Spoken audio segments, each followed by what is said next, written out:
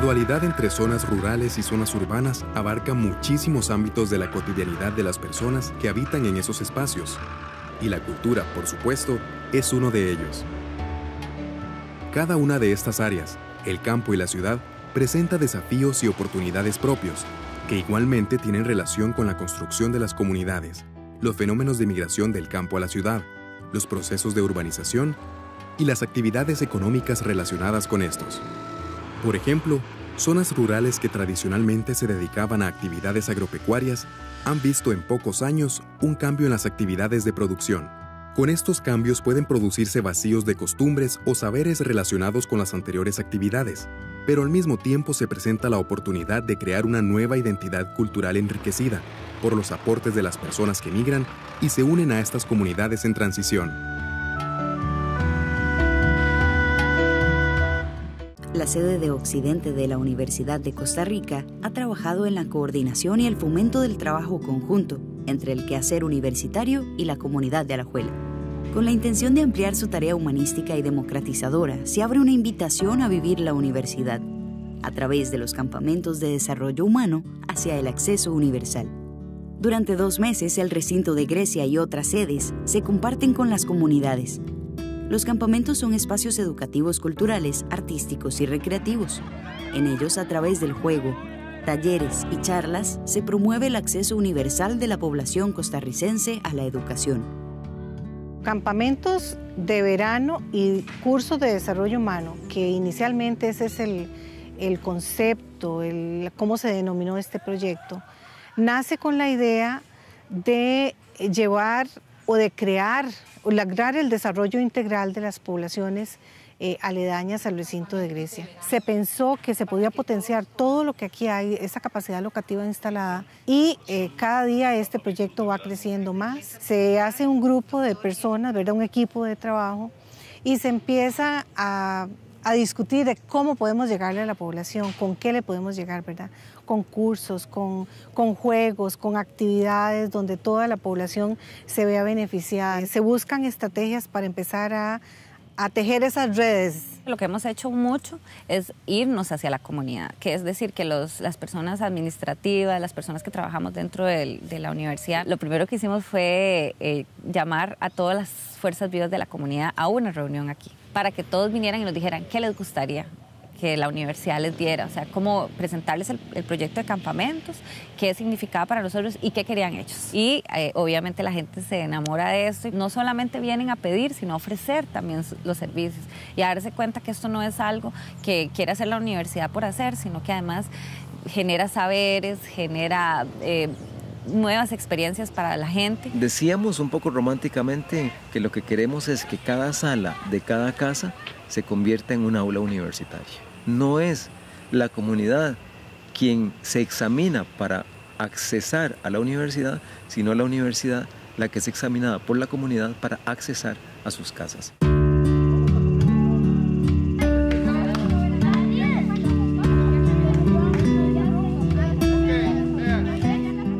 Campamentos es eh, más que actividades, el trasfondo es una filosofía. Es decir, hay un concepto nuevo de universidad o que gira en torno a algunos principios básicos. Nos interesa que la universidad o a la universidad tengan acceso todas las personas de la comunidad. Esto implica que entonces es un proyecto desburocratizado, es decir, y desinformalizado, no por eso no académico. Siempre se pensó que hubiese una condición ahí de voluntariado y de gratuidad. Principios fundamentales que hicieron que la gente se viera muy motivada a trabajar. Entonces los mismos compañeros, los funcionarios administrativos, los compañeros eh, docentes, eh, gente de la comunidad que no tenía nada que ver en ese momento. Muchos de ellos expresaban la universidad allá y nosotros aquí. La transformación que hemos logrado es esa, porque ahora todo que ver con la universidad. Es decir, nosotros queríamos un proyecto en donde la universidad se trascendiera a sí misma y se complementara el quehacer de élite universitario. Es decir, no estamos en en contra ni estamos diciendo que hay que cambiar el concepto de universidad. Tenemos que producir científicos, literatos, médicos e investigadores de élite, pero en complemento tenemos que tener una universidad que derribe paredes, que los chicos, los jóvenes, los adultos mayores, toda la población en general, la comunidad, se acerque a la universidad y que la universidad no se vea solamente como un centro académico, como un centro donde vienen estudiantes universitarios, se forman y se van, sino que sea algo más. Les llegamos a los laboratorios de química y de biología, entonces tener un conocimiento nuevo, esas son experiencias que nadie puede tener si no se abren este tipo de actividades estamos formando nuevas personas. Esta experiencia cambia la vida de mucha gente. Hemos tenido experiencias en donde ellos dicen, nunca había habido una experiencia así, gracias, y, que salen de aquí viendo la vida totalmente distinta.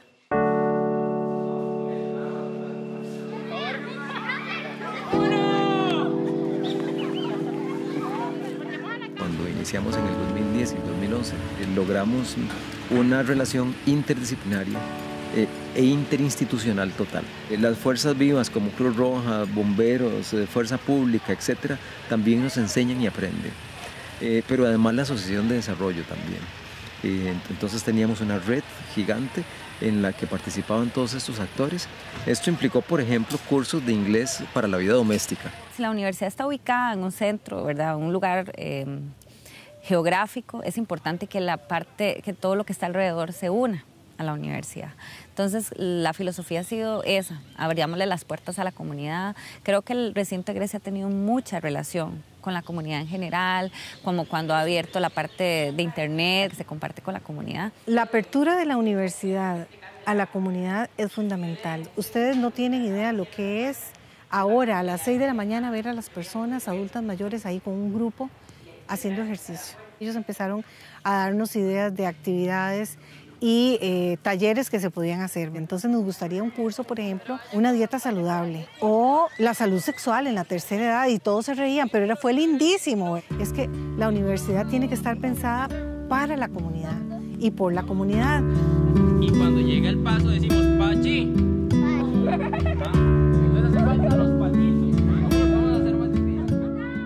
Tal vez en otras zonas geográficas o en otras áreas hay más espacio o hay más oferta de este tipo de, lugares donde hacen campamentos, pero cobran, ¿verdad? Aquí no. Entonces es accesible a todos los chicos que vienen. Y lo que nosotros nos proponemos es que ellos pasen un día y una noche llena de actividades lúdicas, muchos ejercicios, mucho trabajo en equipo, mucha este, formación en valores, en creación de nuevas habilidades y destrezas. Yo soy parte del Teatro Diocol y nosotros ofrecemos como las cosas que nosotros hacemos como hobbies como para enseñárselas a demás gente. Entonces yo este, para esos campamentos de, campamentos de verano voy a dar dos talleres. Eh, introducción a la meditación y pintura expresiva para niños. Arman todo un paquete de actividades que también se toman mucho de los Boy Scouts que siempre nos vienen a colaborar. Nos preparan talleres, nos preparan, eh, normalmente en las noches nos preparan la lunada. Bueno, básicamente son actividades de formación de grupo, de trabajo en equipo y la, integración de uno de los pilares fundamentales de la UCR, que sería la acción social, ¿verdad? Eh, habilidades esenciales como lo son los juegos tradicionales. Eh, acá se trabaja mucho también y nos encontramos niños que muchas veces no saben, pues, qué sé yo, jugar rayuela o no saben saltar suizo, entonces ya como algo más que se llevan para las casas.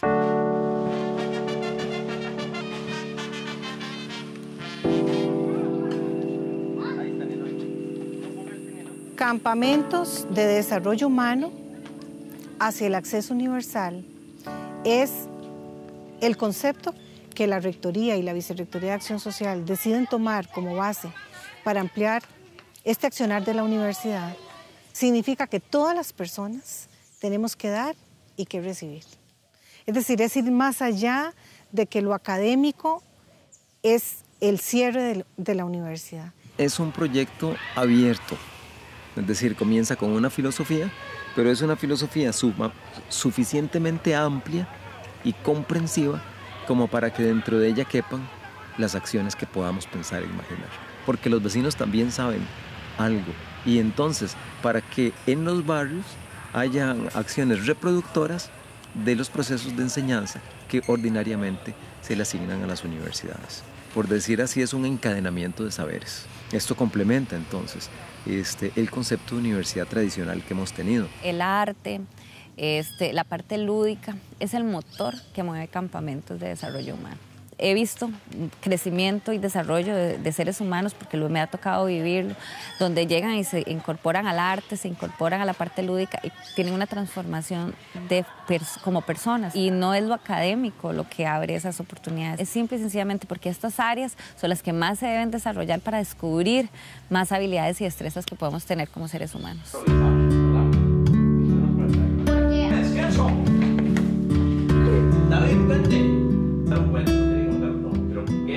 Ahí es donde radica eh, lo que podemos o no hacer. Es en la confluencia de esos saberes donde yo puedo transformar algo. Mientras estamos invirtiendo en la atención de niñas, niños y jóvenes, podemos hacer la diferencia. Este es un proyecto que va a nutrir completamente este, la acción social, la va a reconceptualizar. En la existencia humana, el ser humano eh, debe tener derroteros cualquiera, eh, ilusiones todas, fronteras ninguna, los límites, los compartimentos estancos eh, han sido invenciones usualmente para segregar y no para integrar. Mi concepción es que eh, la universidad debe diluirse sin perder su esencia en la comunidad hay eh, mujeres que han también transformado sus vidas por haber llevado un, taller de manualidades, se ponen su propio tallercito de manualidades en la casa. es que es algo tan sencillo como un taller de piñatas puede hacer que alguien se ponga un negocio de piñatas. Los barrios siguen siendo barrios todavía, siguen pasándose eh, la familia es el gallo por detrás, eh, hacen un poquito más por si llega una visita, ya se conoce la persona que es sobadora para quitar pegas. Yo creo que todo ese tipo de cosas sigue, sigue habiendo en Alajuela que las comunidades salen de sus casas a hacer encuentros de ciudadanos que se encuentran, se miran a los ojos que si es a partir del teatro o si es a partir de la música, del concierto de la banda municipal, de la, banda nacional de Alajuela se reúne, que se, antes se reunía en el Parque Central, la gente se venía y se reunía, se reunía a escuchar música, sí, a escuchar a Vivaldi, sí, está bien, pero de repente también encontraba al fulano que le tenía que conversar de otra cosa y se encontraban con problemas similares y comunales y ahí los arreglaban o se organizaban para otras cosas. Yo creo que el impacto que tienen estas actividades en las comunidades siempre es positivo por eso, porque refuerza fuerza el encuentro ciudadano, ahí se miran a los ojos, ahí conversamos, ahí nos comemos un helado después o nos tomamos una cerveza o nos vamos a la cantina y seguimos hablando sobre temas que nos interesan a todos. Entonces eso hace comunidad. Y nace de esta manera, así tan sencillo. Yo estaba eh, escuchando un juglar español, estaba tan bonito el asunto, tan bello el momento, que yo me pregunté por qué no estaba mi mamá ahí a la par mía. Y la gente que uno quiere, uno quisiera que esté a la par de uno disfrutando de eso, porque yo tenía ese privilegio de estar sentado escuchando ese juglar. Y entonces me quedé con eso y en la noche dije yo, es muy difícil traer a todos mis amigos y familia aquí yo lo que voy a hacer es que me voy a llevar este juglar a la Juela. Así nace a la Juela Ciudad Palabra. En el 2004 yo inicié un grupo de teatro que se llamaba Miraluz, que Juan era el director, y dentro de uno de los montajes que se hicieron tenía que ver con cuento. Entonces ya Juan para ese año venía con la idea de hacer eh, la primera fiesta internacional de cuenteros. Entonces como parte del grupo en el que yo estaba montamos un cuento para participar en esta primera edición. Entonces desde entonces empecé como a trabajar como decán o contando en esta modalidad de cuento coral en las diferentes ediciones hasta que fui ahí adquiriendo este, diferentes cargos, diferentes responsabilidades hasta ahorita. Los primeros años lo hicimos, yo creo que poniendo todos un poquito. Y ya tenía tres cuenteros que venían. Ellos se venían pagando su propio pasaje. Hubo eh, una gente que me, me, buscó el hotel y me consiguió el hotel de gratis. Este, conseguí amigos y amigas aquí en Alajuela para que me ayudaran. Entonces conseguí 20, 30 amigos, no sé, y 30 amigos trajeron a 30 amigos. Entonces hicieron como 120 personas alrededor de este proyecto. Fue muy interesante porque entonces mi mamá todos los días ponía un picadillo, la otra gente ponía un almuerzo y la otra. Así lo hicimos, lo hicimos con pequeñas donaciones. La principal preocupación que tenía en el primer festival, en el primer encuentro de este, era el público, si el público iba a llegar. Y no, llegó y no cupo entonces la gente con ganas de saber qué era esto, de contar historias. Y así año con año hemos venido haciéndolo.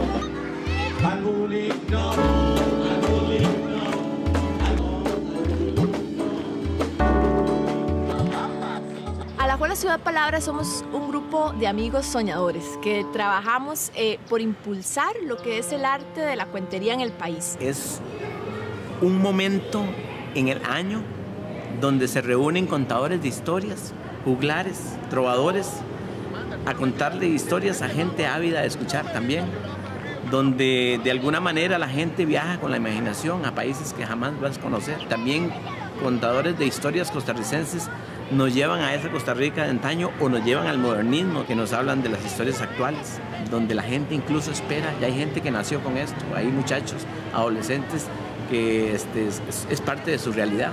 Con el devenir de la, del asunto, se, la Abuela Ciudad Palabra se volvió como una organización que organiza la Fiesta Internacional de Cuenteros.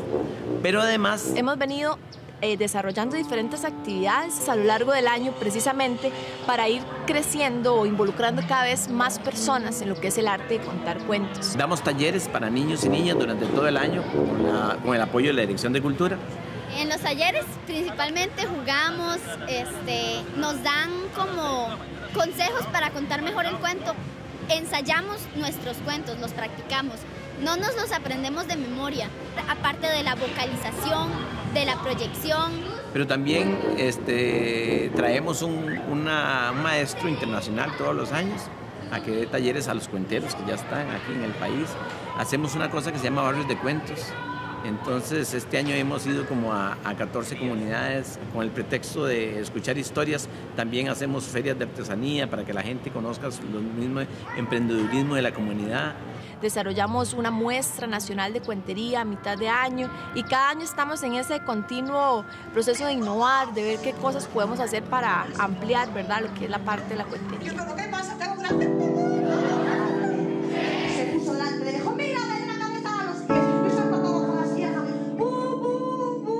Y siempre, desde muy pequeñita dije que iba a ser escritora, pero cuando estaba estudiando para ser maestra y estaba en la universidad, eh, descubrí un libro que se llama El arte de narrar, un oficio olvidado, y empecé a experimentar con mis alumnos y después con mis hijos.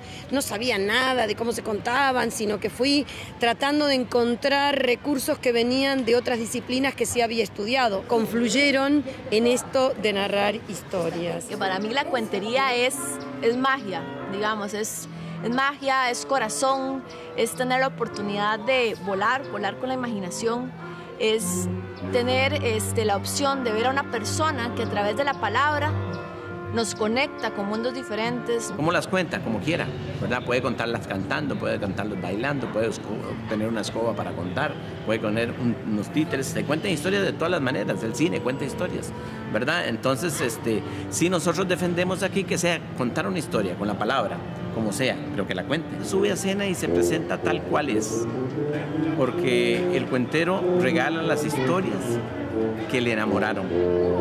Yo creo que es un acto de amor, de contar una historia que a uno le gustó mucho. Profesionalmente el cuentacuento se prepara, se prepara con la voz, con el cuerpo, con la danza, con el baile. Tiene que hacer uso de todo lo que tiene y las capacidades artísticas que tiene para enamorar. Lo difícil que es, es lo fácil que parece. Siento una alegría, felicidad, emoción, maripositas en el estómago, nervios, ansia, siento de todo. Los cuentos son para poder decir lo que sentimos, lo que a veces no podemos decir, lo expresamos por medio de los cuentos. Para mí es sinceramente fascinante, emocionante y es mi pasión.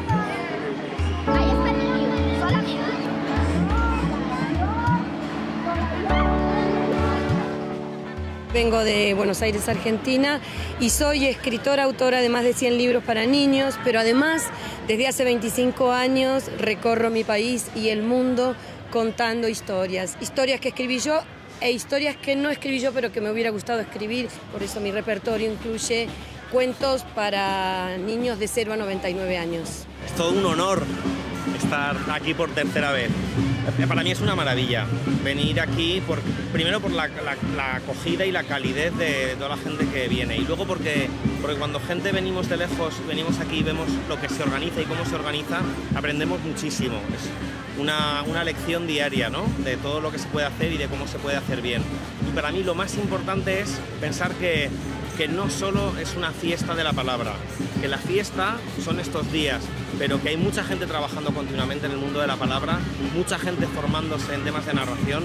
El trabajo con los niños es excepcional en cuanto a formación, en cuanto al respeto que se les da a los niños y a la importancia que se le da a, su trabajo. Yo voy a participar en la Fiesta Internacional de Cuenteros donde se invitan a cuenteros internacionales, creo este, este año vienen cuenteros de España, Perú, Colombia, Argentina y México, aparte de los cuenteros de Costa Rica. Y lo que yo voy a hacer es presentarme contando cuentos mientras me acompaño un poquitito con la guitarra, porque apenas estoy empezando con la guitarra, pero sí quiero como incluirla en los cuentos. Decidimos este año que fuera todavía más integral, que sea para todas las edades, ¿verdad? Entonces, desde los 0 hasta los 100 años y más. Entonces, de ahí viene la idea de que este año sea para toda la catizumba, todos, primos, tíos, abuelos, de cualquier edad que puedan.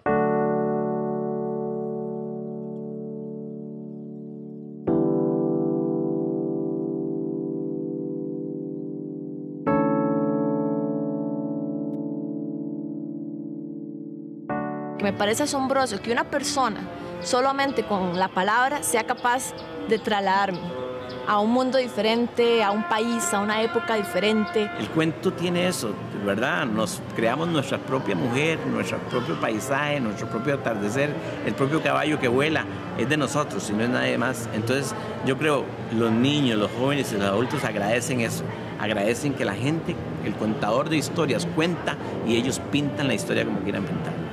Entonces es como muy emotivo.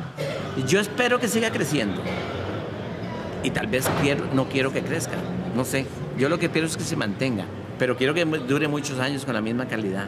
Espero que no se vuelva una cuestión mercantil, que siga siendo la calidad donde, donde sea intimista, donde no llenemos un estadio para contar cuentos, porque eh, contar cuentos no es una cuestión de multitudes, es una cuestión de mirarnos a los ojos. Uno de los principales aportes de la fiesta de cuenteros en Alajuela es que da un espacio de encuentro. O sea, nosotros lo que queremos es que durante la fiesta la gente se olvide de su rutina, deja al lado los celulares, deja a un lado ese ajetreo diario y pueda encontrarse, encontrarse con amigos, encontrarse con vecinos, encontrarse con familia, que puedan verse a los ojos, que puedan escucharse. Además de que con esta fiesta estamos contribuyendo a mantener una tradición tan importante como es la tradición de, de la narración oral, ¿verdad?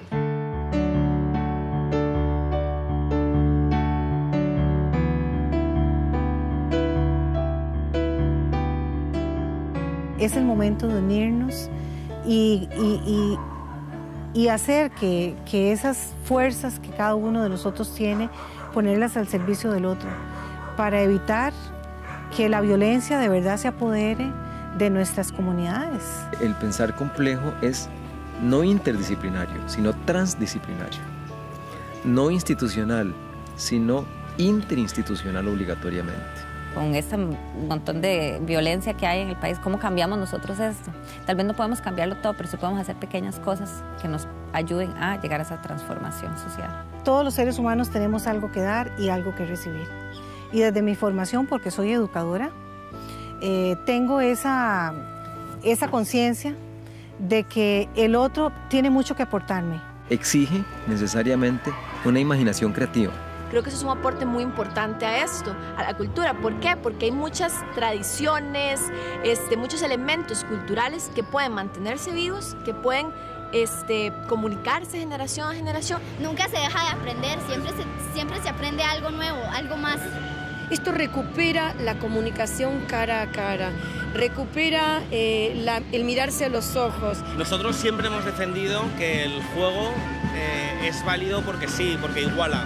Cuando estás jugando, estás de igual a igual con otro. Es ese espacio de encuentro, ¿verdad? Donde las personas pueden conversar, dialogar y además de eso, creo que da la posibilidad de que personas conozcan un arte que tal vez antes no conocían.